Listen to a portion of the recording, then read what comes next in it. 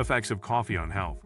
Coffee is one of the most widely consumed beverages in the world, and it has been the subject of many studies to determine its potential health effects.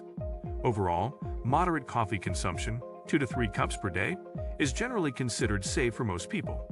But excessive consumption may lead to negative health effects.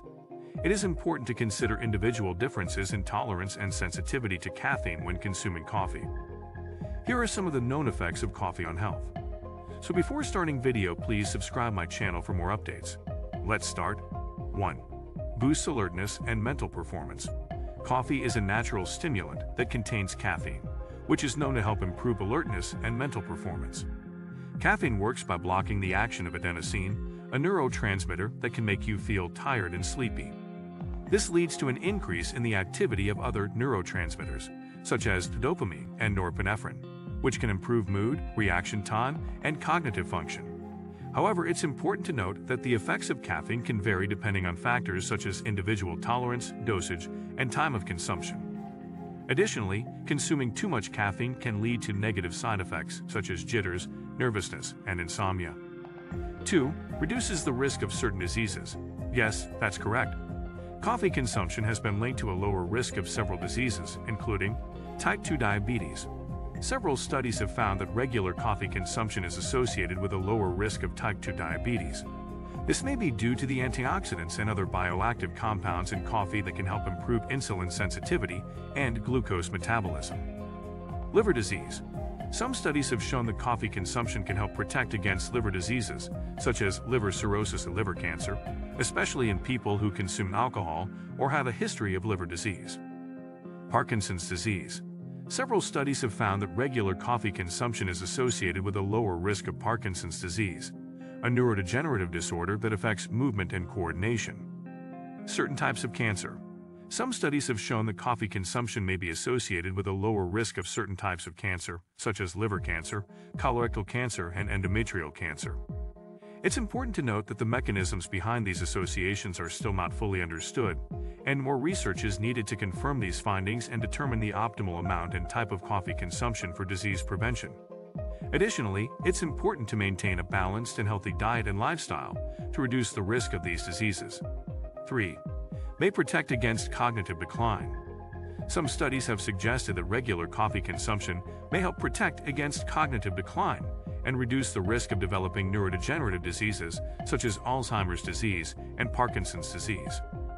Caffeine, the primary active ingredient in coffee, has been shown to improve cognitive function and enhance memory and learning in some studies.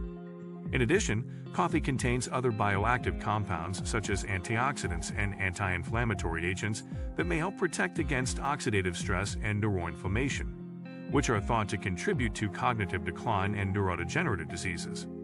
However, the evidence for the cognitive benefits of coffee is mixed, and the optimal dose and timing of coffee consumption for cognitive health are still not well established.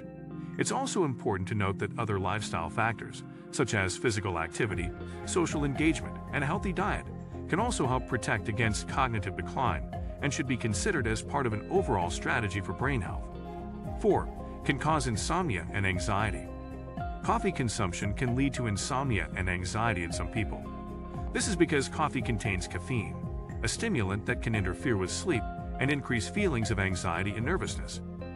Caffeine blocks the action of adenosine, a neurotransmitter that promotes sleep and relaxation, and can cause increased activity in other neurotransmitters such as dopamine and norepinephrine, which can increase alertness and arousal.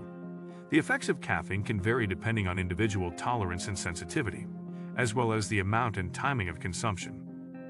If you are sensitive to caffeine or have trouble sleeping or experience anxiety, it may be helpful to reduce your intake of coffee or other sources of caffeine, especially in the afternoon and evening.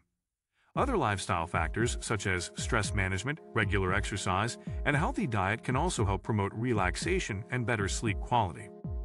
5. Can cause digestive problems. Coffee consumption can cause digestive problems in some people particularly those with underlying gastrointestinal conditions such as acid reflux, irritable bowel syndrome, IBS, or inflammatory bowel disease, IBD. Coffee is a natural stimulant that can stimulate the digestive system and increase the production of stomach acid, which can exacerbate symptoms of acid reflux and heartburn. In addition, coffee contains compounds such as chlorogenic acids and N-alkanoyl 5-hydroxytryptamines, C5HTs, that can increase gastric acid secretion and motility, which can lead to diarrhea, bloating, and abdominal discomfort in some people. If you experience digestive symptoms after consuming coffee, it may be helpful to reduce your intake or switch to a lower acid coffee blend or decaffeinated coffee. Additionally, other dietary and lifestyle modifications, such as avoiding trigger foods, eating smaller meals, and staying hydrated, may also help manage digestive symptoms. It's also important to consult with a healthcare professional if you have chronic or severe digestive symptoms. 6. Can increase blood pressure. Yes, that's correct. Coffee consumption can increase blood pressure in some people, particularly those who are sensitive to caffeine or have hypertension, high blood pressure. Caffeine is a natural stimulant that can cause a temporary increase in blood pressure by stimulating the release of adrenaline and increasing the activity of the sympathetic nervous system. This effect is usually mild and short-lived in healthy individuals, but it can be more pronounced and long-lasting in people with hypertension or cardiovascular disease. If you have high blood pressure or are sensitive to caffeine, it may be helpful to reduce your intake of coffee or switch to decaffeinated coffee or other caffeine-free beverages. Other dietary and lifestyle modifications, such as reducing sodium intake, maintaining a healthy weight, and getting regular exercise can also help manage blood pressure levels.